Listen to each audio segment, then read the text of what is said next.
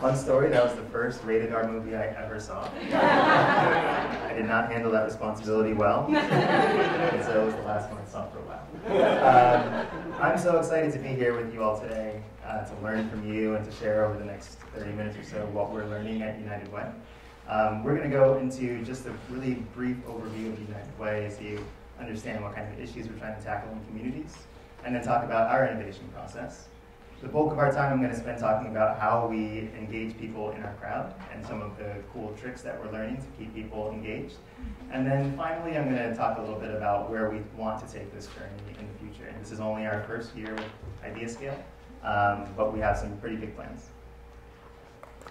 All right, again, my name is Edwin Gautier. Um, I work for United Way, which is a nonprofit, for those who don't know. Uh, we fight for the health, education, financial stability of every person in 1,800 communities around the world. It's a really big organization with like 10,000 staff. Um, I actually work for our corporate headquarters, United Way Worldwide, and I'm on our innovation team. Uh, usually people are actually pretty surprised to find that we have an innovation team. Um, and so I end up in these like strange, trying to explain the role of my team and my job until I got some advice where someone said, just explain your job as uh, the most common customer feedback that you get. And so I like to think of myself as United Way's chief. That's not what I think of when I think about United Way, but I mean that in a good way. Classic CT. Oh, oh. Uh, erased ahead. Spoilers. All right, here we go. Nice. All right. Um, and so it's not, it's, you know, it's not a surprise that we get that feedback. We're a nonprofit organization. We have to keep overhead down. We're like over a century old. So um, I'm not surprised when people are shocked to find that we have an innovation department. Um, but innovation has been part of United Way's DNA from the very beginning. So we were started in 1887 in Denver.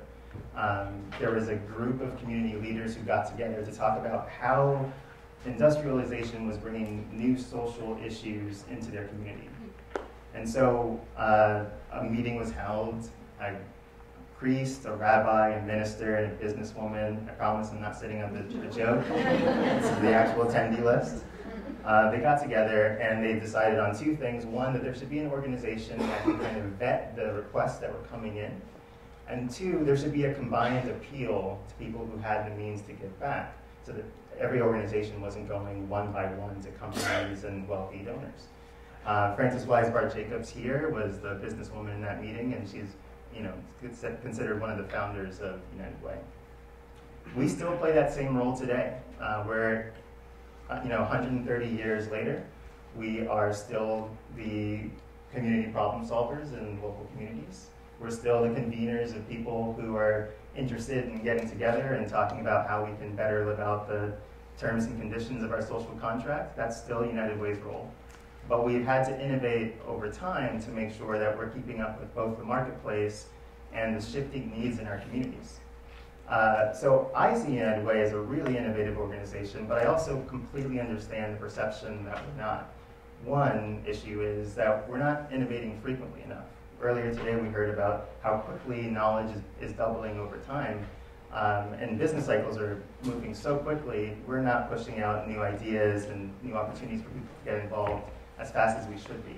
And then the second issue is in this new you know, era of the individual where you have a recommendation engine telling you which movie to watch when you get home later, um, it's difficult for us to involve people in giving back in a way that feels modern because people are used to understanding United Way as a, a, trusted entity that they can give their money to and will invest it in a, a, good place, but that's not how the world is working anymore. There's no more intermediaries. People want to be able to give back the way they feel passionate about giving back.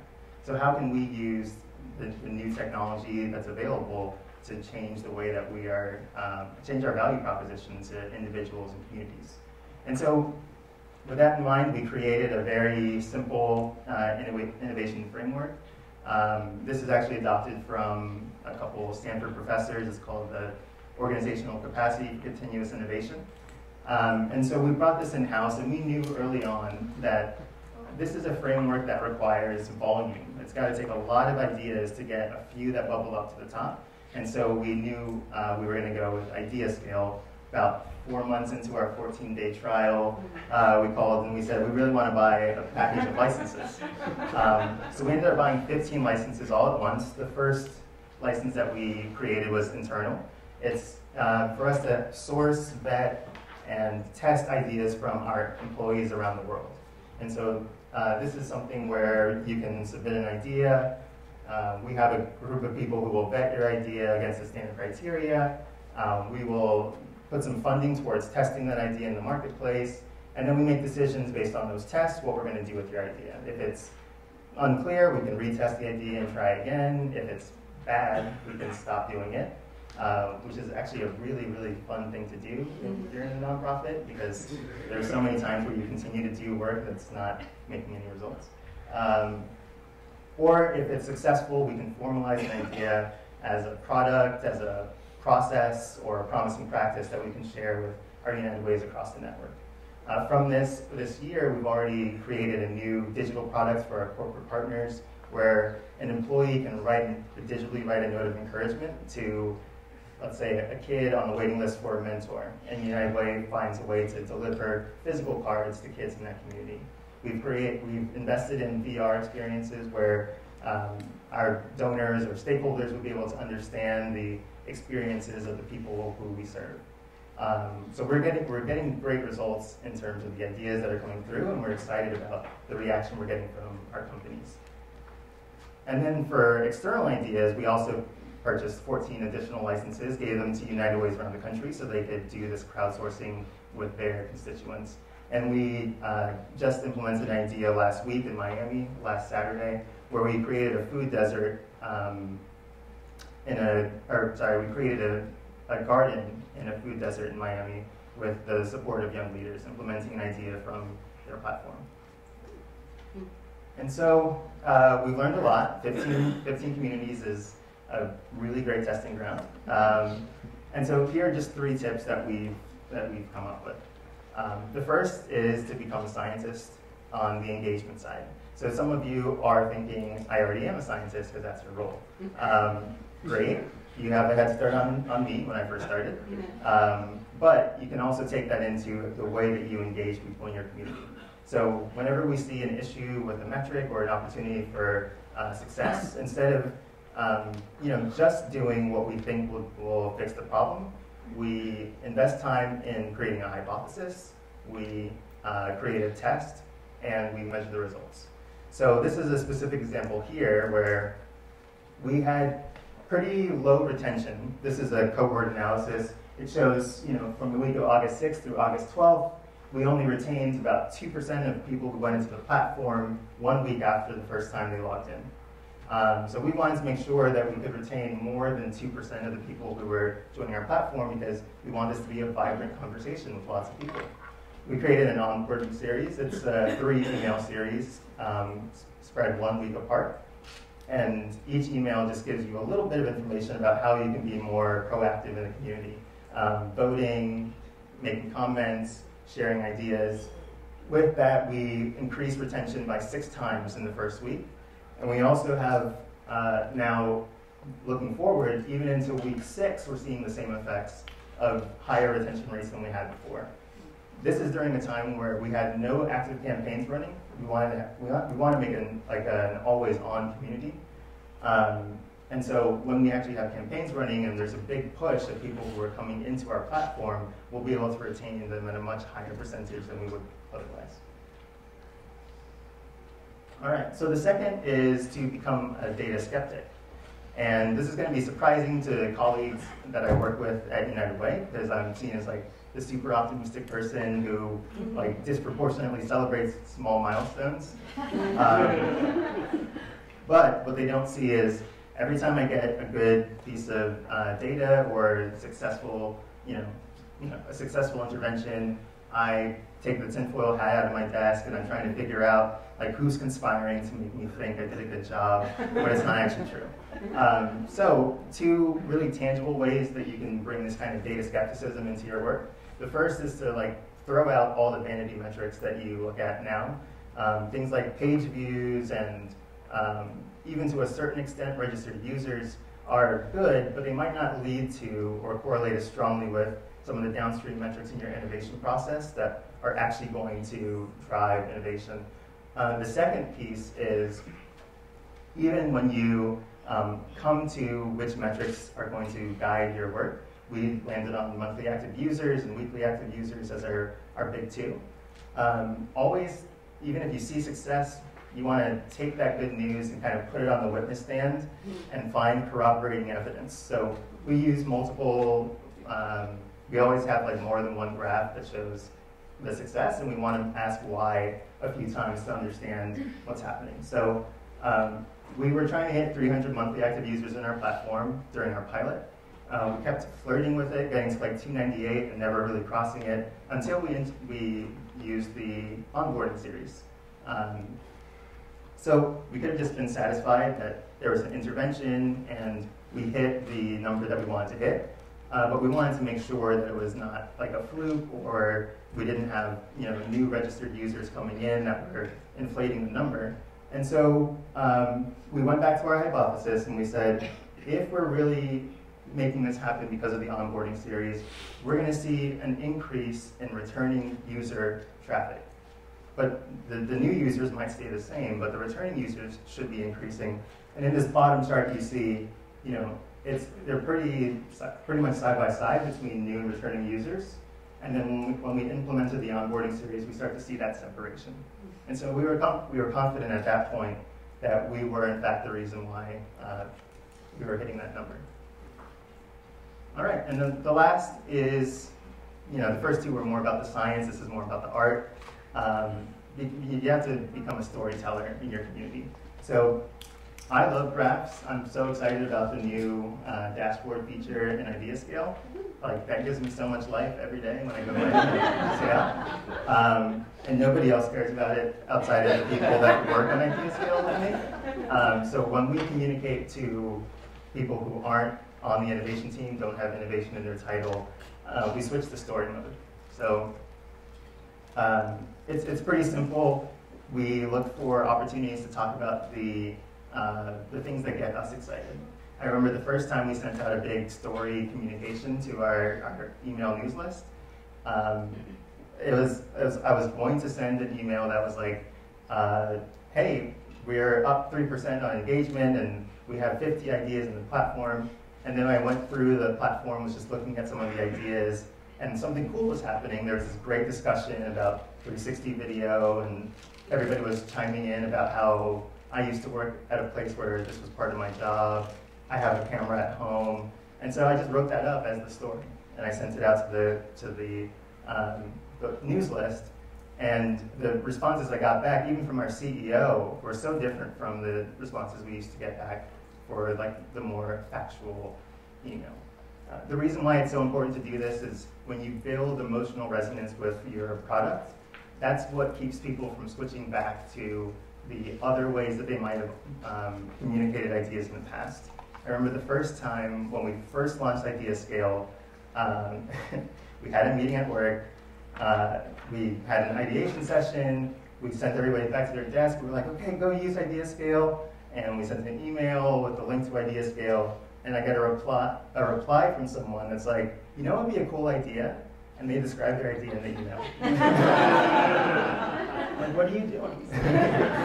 um, so obviously they found the substitution to IdeaScale at that point that felt more natural to them, that they liked better, and so they used that. So we're trying to build that um, emotional response to IdeaScale that people will enjoy this more than they will what they're doing right now. So um, with everything that we learned, it hasn't all been you know science experiments and kumbaya stories and all that. Um, there have been some uh, things that we've learned that I'd love to share with you as well. Um, there, the issues that we ran into are probably most closely tied to like one single blind spot in our um, launch of our innovation platform. And it was that like we had a mandate to bring innovation more into the culture, and for some reason we didn't see that as a cultural change initiative. Mm-hmm. And so we missed like the change management techniques that were required to, to really deliver it. And so there were like two recurring characters that kept coming up in our community that um, negatively affect engagement. And so the first we actually already heard about earlier, highest paid person's opinion. And then sometimes this kind of manifests as like the Steve Ballmer, the character um, who's kind of dictatorial about their idea being best because they're highest up in the organization. There's another way it manifests that's like almost more insidious, and it's like when someone with a high position shares their idea, and it's an organization that has historically looked to people higher up in the hierarchy for, um, for direction, everyone else just kind of acquiesces because the person who has traditionally been the idea provider has provided their idea. And so it's, it's even harder to work around that because it's not just the one person you have to coach, but the entire community has to understand that they still have a role to play in this meritocracy of ideas. And then the second is a jellyfish. Hmm. I don't know why I went with animals, but it just felt right and I went with it. Um, so I, I, imagine, I've never been stung, but I imagine being stung by a jellyfish is like one of the worst experiences ever. Not so much because of the pain of it, but like you were probably doing something awesome right before you got stung, right? You're like either snorkeling or like at the beach with your friends and family, and then your life is searing pain and your day is ruined. And so sometimes we have these kinds of jellyfish at work. Like there's somebody who has that stinging comment that they can leave on an idea, and all of a sudden, like the life has been sucked out of the room. And it's, um, you, have probably heard them before. It's like we've tried this a thousand times. Um, you know, we that'll never work. Is a, a common one. And so, just understanding um, that this is an issue is something that you'll have to work through a few ways that we have found are super helpful. Um, one, clear community guidelines. It's not that people will go into your community and automatically read the community guidelines page, but having something to point back to to say, look, these are our norms, these are how we have chosen to behave is something super important that Whitney taught me. Mm-hmm. Um, the second is through community uh, management, you can actually shift the conversation from um, somebody feeling attacked to the entire organization learning why that idea didn't work last time. You can have a conversation and say, well, um, you can share what happened last time and we can go through it and we can understand how the environment has changed and maybe there's an opportunity for us to try this again. Uh, the third is executive sponsorship. I'm really lucky because it was our CEO's idea to do crowdsourcing. So I, I definitely have um, some great backing there. Um, but having somebody on the C-suite on your side is really important. The fourth is workplace or work plan integration. Some organizations have kind of a set aside where X percent of people's time is devoted to innovation. At United Way, we do it differently. Innovation is one of our core competencies. And so it's, it's kind of like being rated on your character.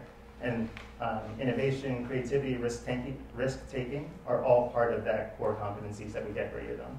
So it, it helps to be able to fall back on um, you know, this is something that the person should be doing. So if you're uh, inhibiting that, and you're going against the grain of the organization.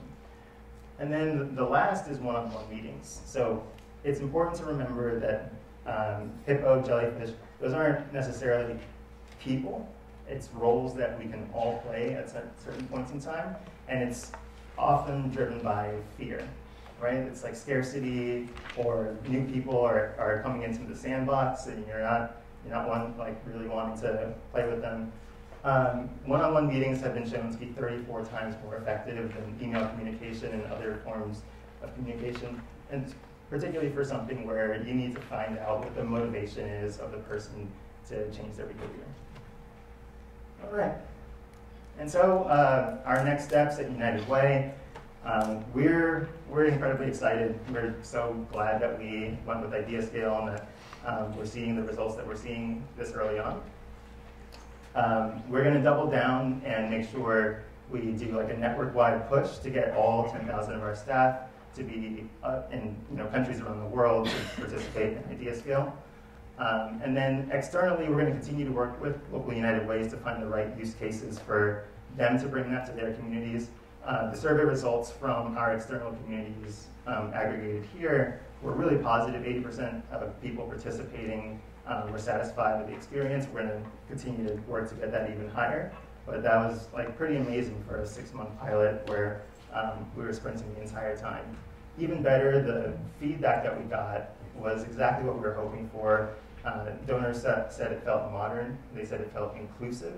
Um, and then we got this great email from someone in Miami. Um, it's a donor who has been fundraising for United Way since second grade, collecting pennies in a jar.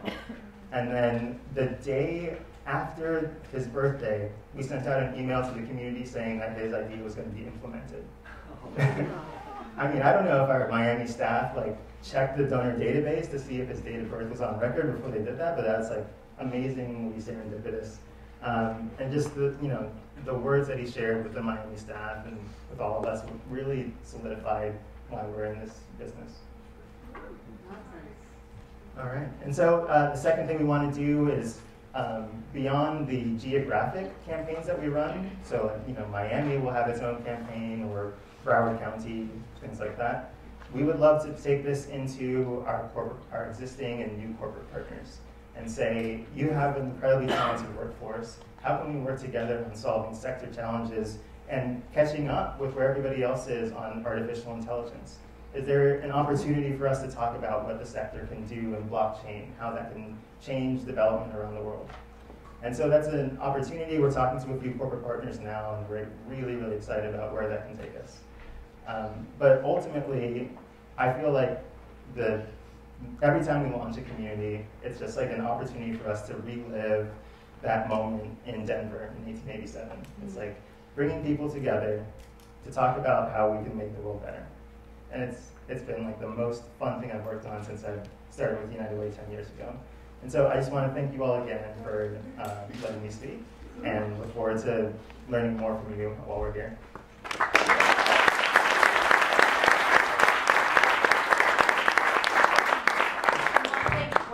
Sure, absolutely.